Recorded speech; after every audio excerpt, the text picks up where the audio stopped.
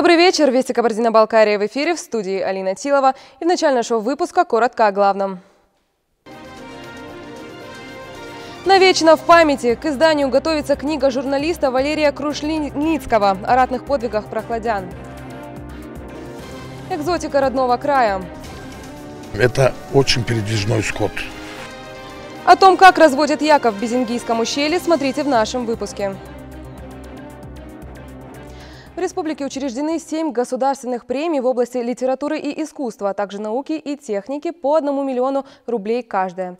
Соответствующие указы подписал глава Кабардино-Балкарии Юрий Коков. В области литературы и искусства предусмотрены пять премий, в сфере науки и техники – две. Последние будут присуждаться раз в три года, начиная с 2016 -го. Также утверждены профильные советы при главе КБР по указанным госпремиям. Поэт-фронтовик, министр просвещения, председатель литературного фонда, человек, дружбой с которым гордятся и по сей день. Сегодня в республике отмечают День памяти Алима Кишокова. Традиционно у здания мэрии Нальчика на улице, носящей имя народного поэта Кабардино-Балкарии, состоялось возложение цветов к памятнику знаменитому литератору. Герой социалистического труда, лауреат государственной премии, он занимал немало высоких должностей, но самым главным называл пост поэта.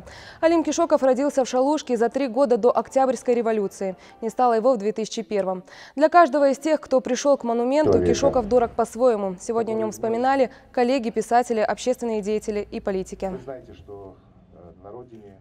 Спасибо всем, кто сегодня пришел. Вспомнить действительно человека с большой буквы. Может быть, наши добрые слова, похвалы ему не нужны, но они нужны нам. Нужны для того, чтобы молодое поколение знало, что у нас есть великие имена, которые должны через столетия передаваться из уст в уста Свой дебютный сборник стихов «У подножия гор» Кишоков издал еще до войны. Он первым перевел на кабардинский Пушкина и Лермонтова, а его произведения изданы даже на финском и словацком. «Сокровище республики» – один из тех эпитетов, которые звучали сегодня в адрес писателя. Кабардино-Балкарское отделение Общероссийского народного фронта подвело итоги работы за прошлый год. Заседание регионального штаба состоялось в Нальчике. Особое внимание на встрече было уделено эффективности мониторинговых мероприятий, проведенных за отчетный период период? Региональное отделение очень плодотворно поработало, потому что э, выступило не только как бы в виде контролера по мониторингу всех майских указов президента Российской Федерации, но и выступила. Э, с инициативами по организации проверок, э, ну, будем говорить, в организации ремонта э, многоквартирных жилых домов, в осуществлении социальной политики с малообеспеченными семьями. Были затронуты вопросы совершенствования пассажирских перевозок в республике и работы некоммерческих организаций. Также члены Общероссийского народного фронта обсудили итоги форума действий 2014, который собрал в Москве активистов со всей страны и наметили задачи на предстоящий период. Две школы Терека получили оборудование для детей с ограниченными возможностями здоровья. По программе «Доступная среда» муниципалитету выделено 5 миллионов рублей. На эти средства приобретена учебная и реабилитационная аппаратура, проведен ремонт помещений. Главные входы оборудованы пандусами, увеличена ширина дверных проемов, чтобы в помещении свободно можно было въехать на инвалидной коляске. В порядок приведены санузлы и пол в коридорах. В Терском районе около 80 детей-инвалидов. Треть из них живет в райцентре. Те, кто не может посещать школу, занимаются дистанционно. Преподаватели приходят на дом. Полученное оборудование будут использовать для обучения детей с нарушениями опорно-двигательного аппарата, со слабым зрением и слухом, с нарушениями речи. С детьми будут работать прежде всего все педагоги. Это психолог, классные руководители, учителя-предметники. По школе в настоящее время уже разрабатывается целевая программа для работы с детьми с ограниченными возможностями здоровья. В основе всей целевой программы лежит идея инклюзивного образования. То есть все дети должны иметь возможность обучаться вместе и равный доступ к образованию. Продолжаем. Увидеть их в естественной среде обитания практически невозможно. А мясо этих животных считается диетическим. Наш следующий сюжет о яковоческой ферме в Безингийском ущелье. Здесь находится одно из стад этих диких парнокопытных, где насчитывается несколько сотен голов. Разведением яков в ущелье занимается заслуженный работник сельского хозяйства КБР Тамук Хачуев. Тем продолжит Альберт Карцаев.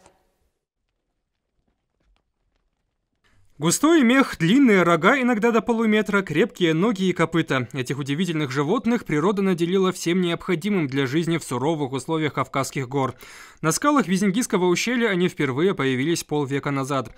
Численность курта в советские времена превышала тысячу, вспоминает Тамук Хачуев, яковод с многолетним стажем. Увидеть их вблизи в естественной среде обитания практически невозможно. Когда теплая погода, будут ложиться вечером встанут и начнут уходить, аж 10-15 километров могут уйти.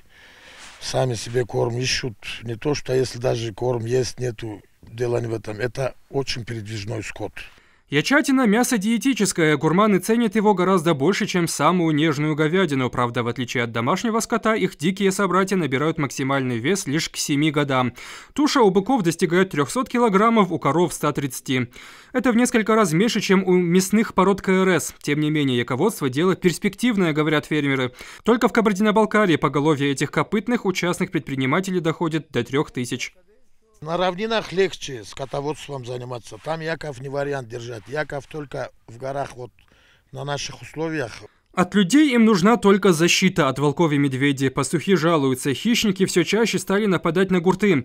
Гибель каждого теленка и даже взрослого животного – беда для всего стада. Буквально несколько дней назад еле удалось отбить яка от волков. Ну, я начал орать, волки даже не убегали так сильно. Я на коне залез, э, побежал за ними и потом они убежали.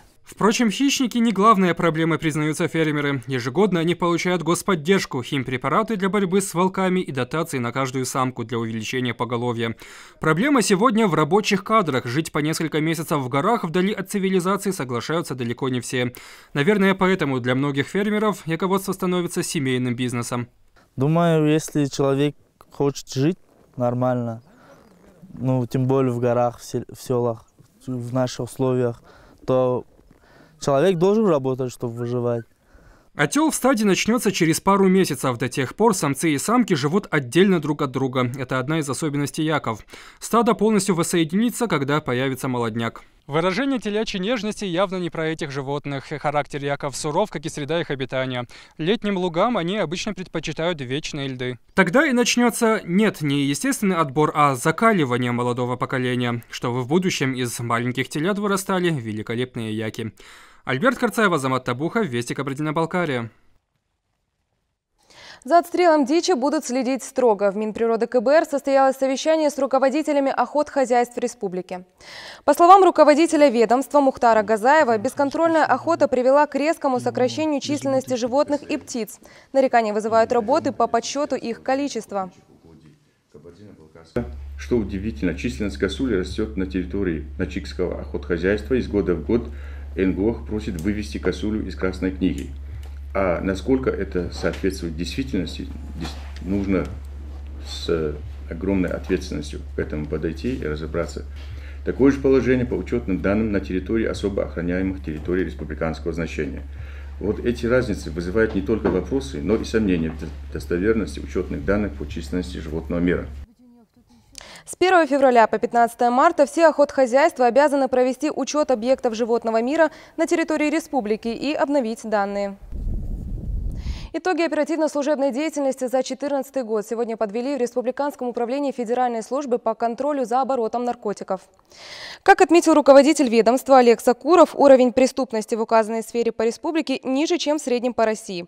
Пресечено около 400 административных правонарушений, связанных в основном с немедицинским потреблением наркотиков. Дикорастущая конопля уничтожена на площади более 78 гектаров. Говорили и о существующих проблемах. Недостаточно эффективно ведется работа по перекрытию каналов поступления наркотиков, изобличению участников именно организованных преступных групп, действующих в указанной сфере. Значительная положительная динамика статистических данных, которые мы имеем по итогам отчетного периода, не в полной мере отражает всю остроту и криминогенность ситуации. На прежнем уровне в управлении осталась выявляемость преступлений, связанных с легализацией денежных средств, полученных преступным путем. Был обсужден вопрос выявления нарушений закона в аптечной сети республики. В результате ряда инициатив отдельные сильнодействующие препараты стали сегодня менее доступны. Однако на смену им пришли другие лекарства, которые пользуются повышенным спросом у наркозависимых. Сотрудники управления считают, что работу по пресечению их реализации свободной продажи надо активизировать. При Эльбрусе на полигоне Терскол начались тренировки бойцов элитных горных подразделений страны. Программа предусматривает как индивидуальную подготовку, так и работу в составе групп, сообщает пресс-служба Южного военного округа. Подъемы и спуски разведчики будут совершать ежедневно. Помимо отработки действий в горной местности, особое внимание уделят прогнозированию лавинной опасности, камнепадов и селей. Как отмечают инструкторы, при подъеме обязательно нужно учитывать плотность снега, чтобы выбрать наиболее безопасный маршрут и ненароком не вызвать лавину. А спускаться с вершины следует быстро, чтобы не попасть под завал. Один из сложнейших элементов сборов – курс выживания в снегу. На завершающем этапе разведчики совершат трехдневное восхождение на высоту около 4000 метров метров в полной экипировке, вес которой не менее 30 килограммов. Навечно в памяти книгу под таким названием подготовил к изданию журналист и краевед из Прохладного Валерий Крушельницкий. Посвящена она прохладянам, участвовавшим в Великой Отечественной. Сборник выйдет в свет к 70-летию Победы. С подробностями наш специальный корреспондент Сафар Гириев. Свыше 12 тысяч человек ушли на фронт из Прохладинского района. Половина осталась на полях сражений. Многие удостоены высоких наград. Среди них герои Советского Союза Георгий Воровченко, Виктор Бойченко и Николай Диденко. Шесть полных кавалеров Ордена Славы. Девять человек награждены высшим полководческим орденом Александра Невского. Золотыми буквами в истории Отечественного флота вписаны имена адмиралов Арсения Головко, командующего Северным флотом, и его родного брата, контр-адмирала Сергея Головко. Богатейший материал о тех, кто ковал Великую Победу, удалось собрать бывшему главному редактору газеты «Прохладинские известия» Валерию Крушельницкому. Я очень много ездил по Прохладинскому району, очень много бывал в семьях горожан, встречался с очень интересными людьми, среди которых были как э, участники Великой Отечественной войны, как труженики тыла, как дети войны. И вот как память о них я и решил к 70-летию Великой Победы сделать своеобразный подарок городу Прохладному. Очерки и короткие рассказы, фотографии и географические карты. Отдельный раздел новой книги посвящен партизанскому движению. В архивах Крушельницкому удалось найти редкие документы. Среди них дневник партизанки Таисии Захарченко. В Прохладинском музее автору предоставили солдатские письма. Это собирательный образ матери, которая потеряла Э, сына на войне, но материнское сердце говорит о том, что надо ждать, пока я живая, надо ждать сына, потому что она не знает, где его могила, а вдруг он живой. И вот она пишет ненаписанное письмо сыну у людей, которые его читали в свое время, как говорится, слезы на глазах. Еще один раздел, о чем писала наша газета. В него вошли материалы печатных почивок тех лет, когда страна отмечала юбилейные даты со Дня Победы. По словам автора, книга «Навечно в памяти» будет издана в конце апреля. Весь тираж передадут в библиотеки, школы и музеи. Часть экземпляров подарят героям публикаций, либо их родственникам. Сафар Гириев, Марат Татруков. Вести, Кабардино-Балкария. К этому часу у меня все. Далее смотрите прогноз погоды. Его представит моя коллега Зухраб Шихачева. До встречи в 19.35.